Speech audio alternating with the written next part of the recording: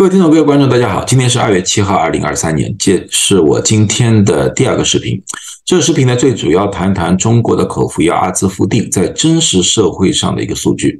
呃，上一段时间呢，很多人问我关于这个药物的真实社会数据的论文，问我是如何看的。我一直不想回复，因为呢，那个时候呢，我在微博上面呢，在对国内的。听众和观众们呢，做各方面的科普，所以呢，很多东西呢，我都觉得点到为止就可以了。关于阿兹夫定的东西，我该说的已经早就说了啊，所以呢，我不想再介入这方面的一些问题里面去了。然而呢，在最近呢，就是上几天呢，我的微博也好，搜狐也好，基本上全部都给封了。那么。其实这对我来说是一件好事，因为本来呢，对于国内的科普呢，我只是觉得有这个义务，因为疫情很严重的时候，我觉得有这个义务帮他们一下。那么现在他们这么一封呢，我反而把自己的思想包袱给放下来了啊，可以让我畅所欲言。那么他现在呢，我就把阿兹夫定真实社会的数据呢，把我的看法和大家分享一下啊。如果大家有不同意见的话啊，我欢迎有不同的意见。啊，呃，但是呢，总体来说的话呢，我相信我的专业的判断啊，好吧，那么看看就这最主要是两篇论文，一篇论文呢是这一篇，这篇论文呢，它是说阿兹夫定呢是一个。回顾性的一个总结性的一个文章，它一共呢是用了两百零七个患者啊，里里面呢有一百六十六个呢，也就是百分之八十点二呢是用了阿兹夫定的，其余呢是没有用阿兹夫定。然后呢，他们进行对比，对比发现呢，就是服用阿兹夫定的人呢，病毒排出时间减短，也就是说它转阴的时间快。这里面呢有两个很大的问题，第一个问题你们也看到了，用药的是。百分之八十不用药的只有百分之二十，不不管怎么样加在一起也只有两百零七例。对于这类回顾性的一个总结性的文章呢，我们一般的情况之下，标准和双盲不一样。双盲测试呢，由于患者和医生大家都不知道在使用什么药物，所以说呢，基本上可以排除很多外来的干扰。啊，但是这种回顾性的呢就不一样了。回顾性的这种论文呢，因为谜底早就已经解开了，所以说呢，他们往往是需要用一个非常大的一个数据量来来填补双盲测试的不足。啊，比如说像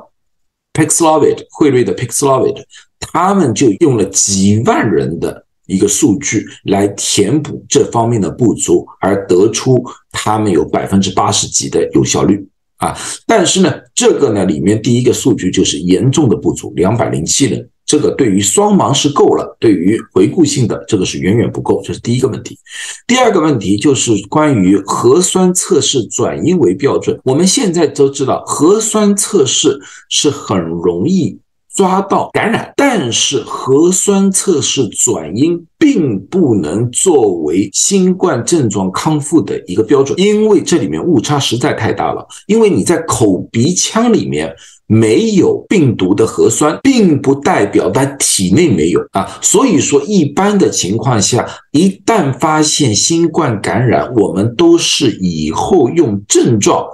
来确定。这位患者的情况如何，而不是用核酸的阴性或者核酸的阳性，而且哪怕是核酸的阳性，也有很大的可能性是检测的误差。这个我在前面的视频也就讲过了啊，所以这个呢，这里面有这两大的一个缺陷。那么另外一篇呢，是在一月二十三号吧发布的，这是很多人问我的这篇文章呢。他一共是用了一千五百零五个住院患者，然后呢，在里面呢有两百二十六人呢用了阿兹夫定，然后呢，他再去找了两百二十六个和他相匹配的人群进行一对一的对比，然后他得出来呢，不管是呃症状啊，不管是住院呐，还是死亡啊比例啊，都阿兹夫定就大规模的下降啊。如果这个测试是个双盲测试的话，我会为他点赞啊，因为他这样做法是完全正确的。但是他这个是回顾性的啊，我先不说那个人数多少，人数多少，刚才我已经说了，但是比前面那个毕竟是多，因为它两个加在一起的话，基本上有五百个患者，人数比前面多了。但是它里面出现了一个非常大的问题，一般我们医学界对，他一共用了一千五百零五人，然后他说有七十七个人小于十八岁，有四百二十六人使用了其他的。抗病毒药物有一百零二人啊，在住院的时候已经需要吸氧。那么他把这些人给去除了，我认为这个是完全正确的，这个没有任何问题。但是他们到了这一步的时候，用阿兹夫定是二百二十六人，没用的是六百七十四人。然后这个时候他在进行匹配批对，也就是说，在六百七十四人里面要去找出。人来，我认为这是一个很大的错误，因为这个时候我们已经知道了患者的情况了。这个时候，他们应该是把二百二十六人的数据和六百七十四人的数据进行对比，而不是在六百七十四人里面再挑选出两百二十六人。因为这个挑选，由于已经知道了患者的情况，这个里面就会出现了很大的个人的感觉。在里面啊，这里面就会出现我们英文叫 bias，就是有偏见，这就会严重的影响了数据的结果啊。举个例子说吧，如果六百七十四人里面有两个人。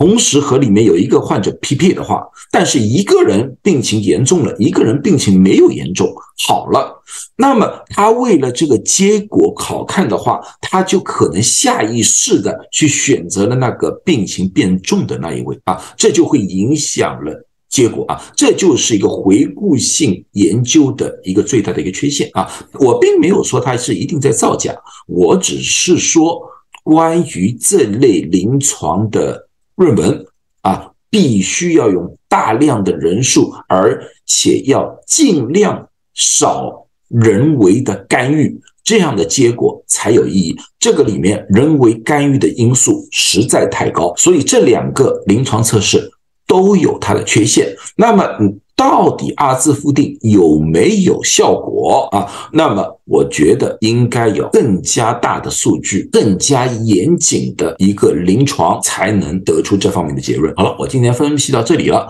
呃，如果说大家在看我这个视频的时候，我建议大家啊，不要传到国内去，我也不想给你们造造成各这样的麻烦啊。但是我该说的，我一定会说。好了，谢谢大家，祝大家都健康。